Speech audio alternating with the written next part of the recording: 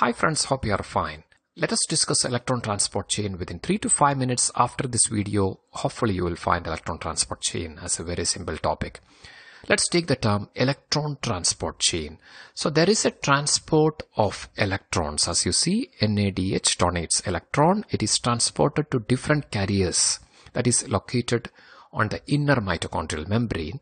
That is why it is called as electron transport chain or transport of electrons in chain.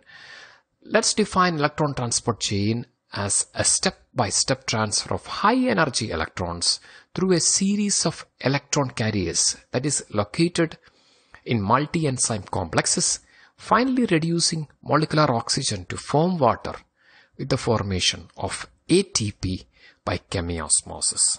So don't bother about this confusing diagram. Please just follow my voice. First, you should understand this inner mitochondrial membrane so this is the outer membrane of mitochondria. And this is the inner membrane where all multi-enzyme complexes are located where electron transport chain occurs. And the space between this outer membrane and inner membrane is called as the intermembrane space.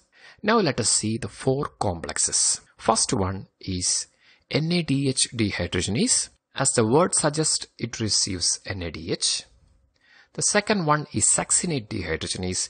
It receives electrons from FADH2. The third one is cytochrome BC1. And the fourth one is cytochrome C oxidase, the final complex from where electrons will reduce oxygen forming water.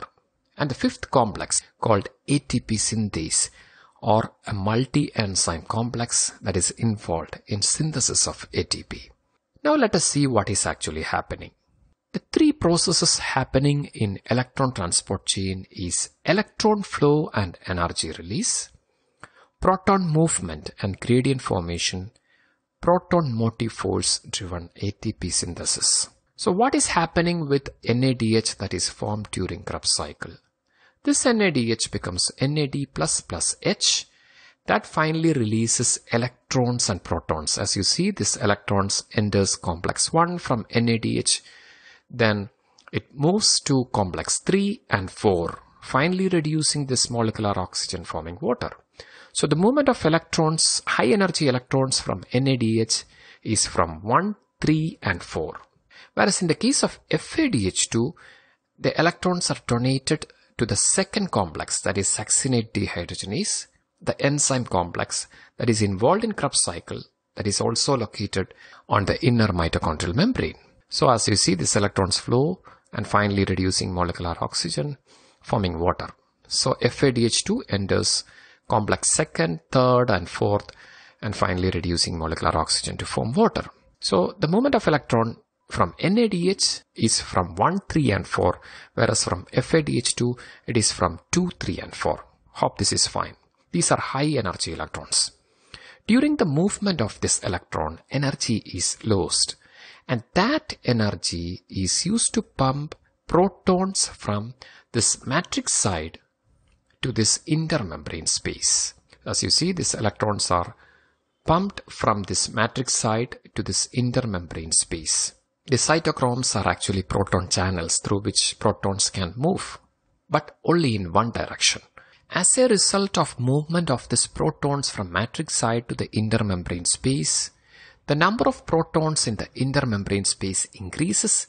That is called a gradient. A gradient is formed between this membrane. Here the number of protons will be less compared to this intermembrane space. That is called a gradient or difference in number of protons on either side of the membrane.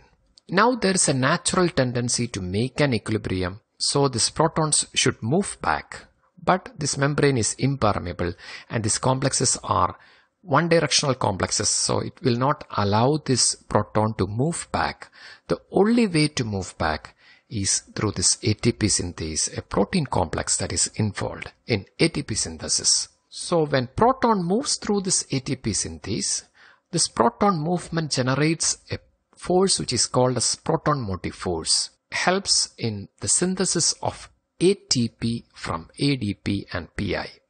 This is just like a turbine. So there may be some active sites for this ADP and PI, When proton moves through this channel, this comes together, this catalytic sites comes together and forms a bond and finally forms the ATP.